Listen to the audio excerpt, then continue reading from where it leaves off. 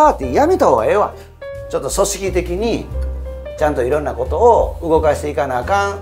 100%の政党ってないねんね、ライドシェアはシェアリングエコノミーの第一歩やねん。あとチャレンジングなことに挑戦できる土台っていうのがやっぱ維新の中にはあるっていうのが土台はすごい僕あると思うんで感じてるんですよ、そ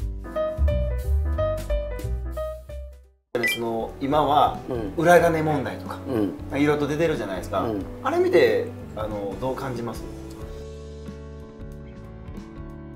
そんなもんええことないのに決まってるから。そうそうですよね。全然良くないことやし。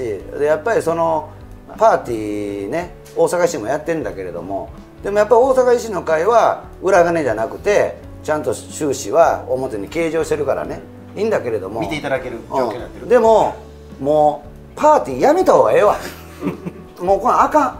ああかんあか維新大阪の総務会の中でもそういう話になってましたね、うん。政治家個人のね、うん。そのいわゆるパーティー政治資金パーティーまでうん。拘束するのどうかと思うんですけど、うん。やっぱり大阪維新の会としてまあやってるんで、うん、もちろん大阪維新の会はしっかりとねあの収支報告出してるから問題ないんだけれどもこれだけ大きな問題になったら大阪維新の会のそのパーティー自身もやっぱりもうやめとこうがええと思うね。いやでもそう思ったらこれからね我々維新の会も含む、まあ、大阪では与党と言われてる中でね、あの責任がある政党だと思うんですよね、維新のことでなんか言いたいことってなんか逆に近所代表とか。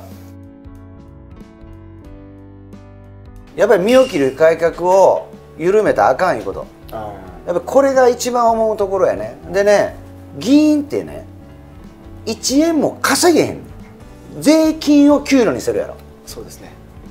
これをまず分からなあかんしいわゆる公務員っていうか給料税金使ってる人たちはちゃんとした就業規則があんねん。ああそれにのっとって世の中のために仕事してくれてるわけよ。議員は就業規則が自分やねん。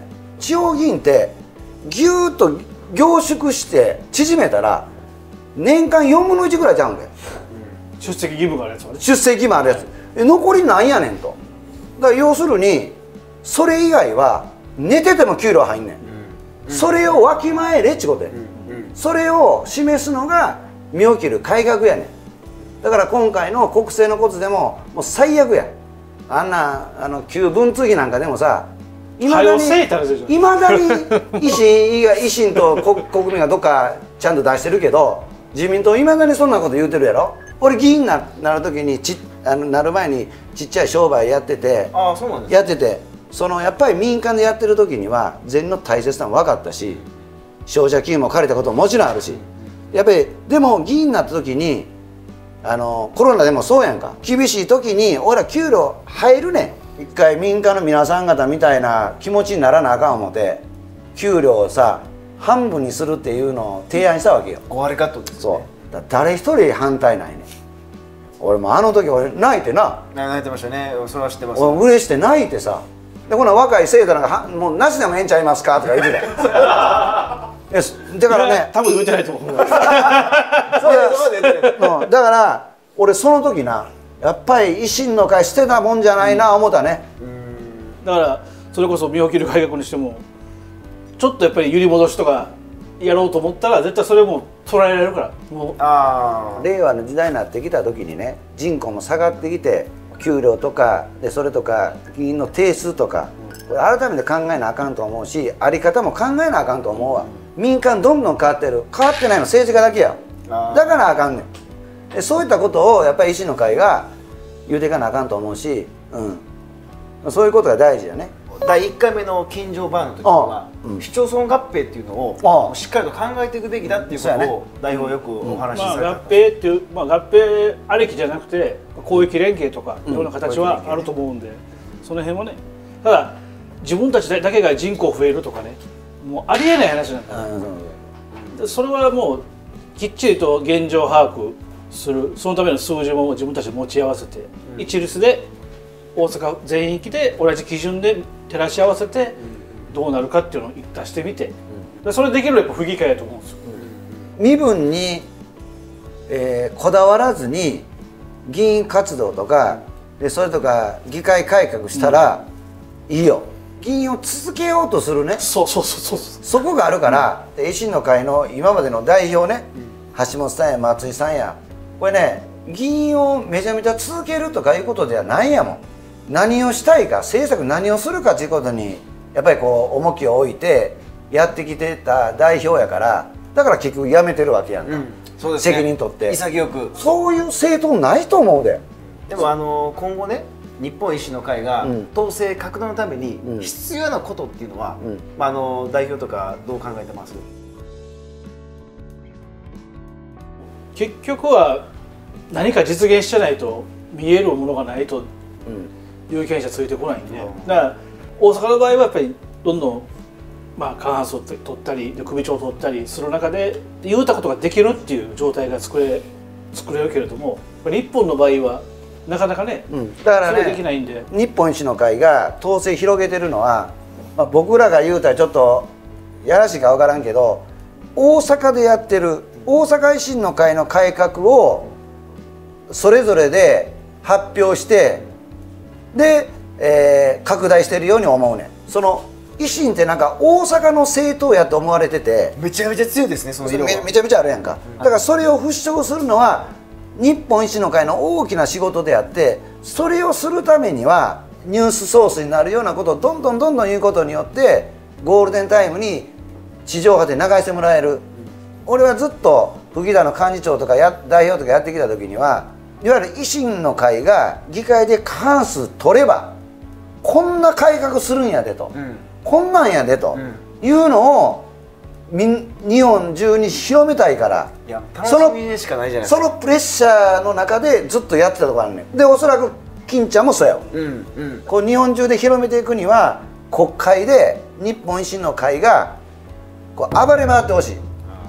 もう極端な話もう定数削減っていうのももうどんどんまあほんであれやんかもう。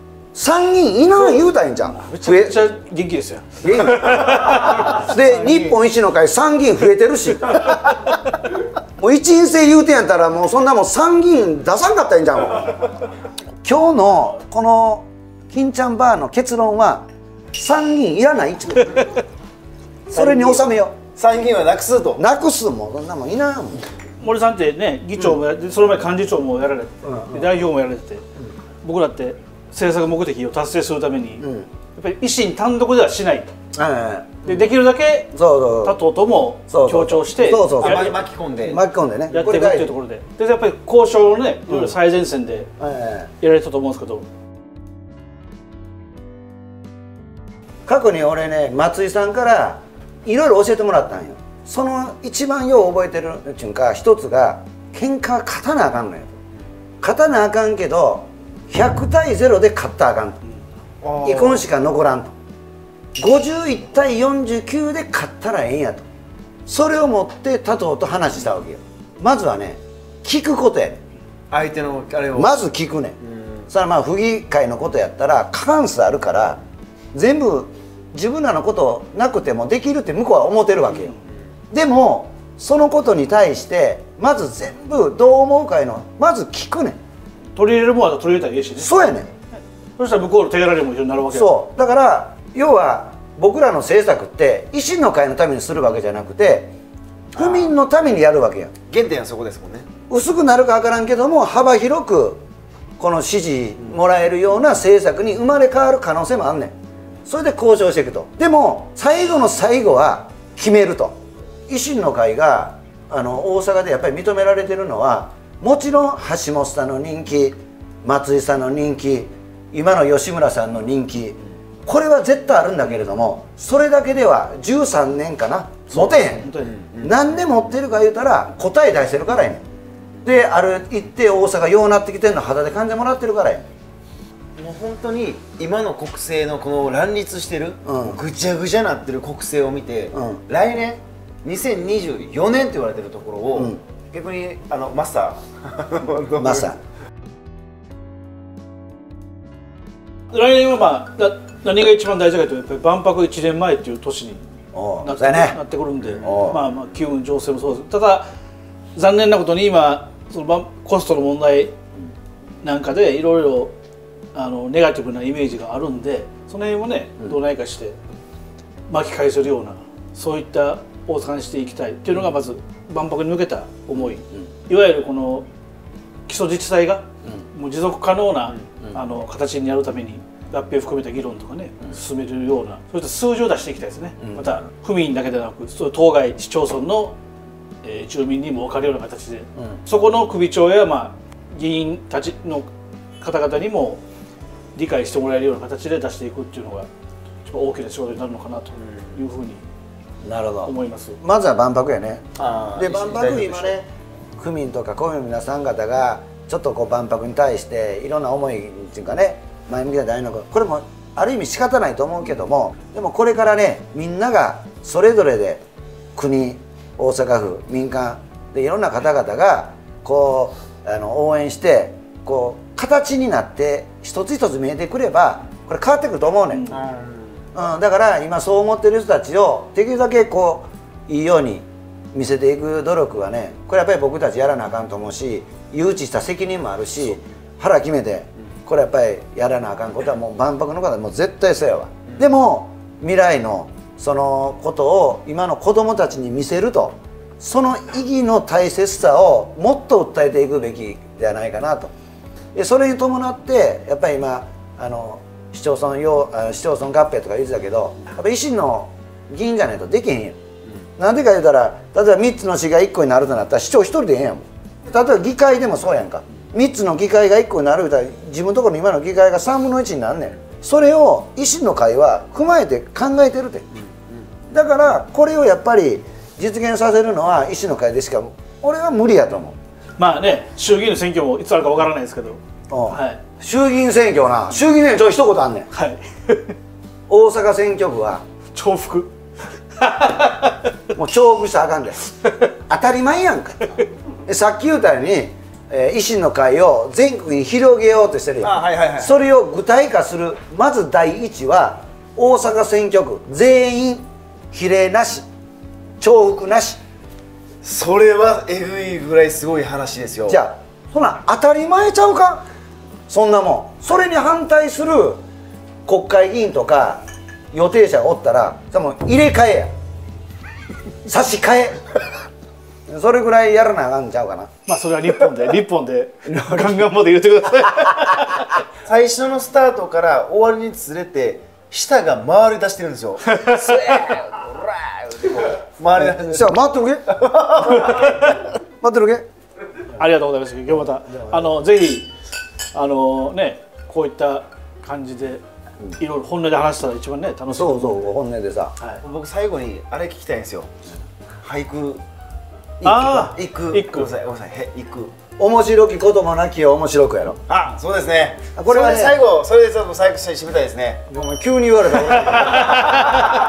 あのこれはななんで俺いつも読むか言うたら高槻新作が、はい。の時世の句で「面白きこともなき面白く」って書いて、なんてかっこええの思て。面白くない世の中を面白くしようということやねでその下の句あるやんはい。これ上の句やからな、はいはい。で下の句を俺議員になってその答えをこう見つけようと思って今言ってるわけやだから今日を歌うとすれば面白きこともなきよう面白く。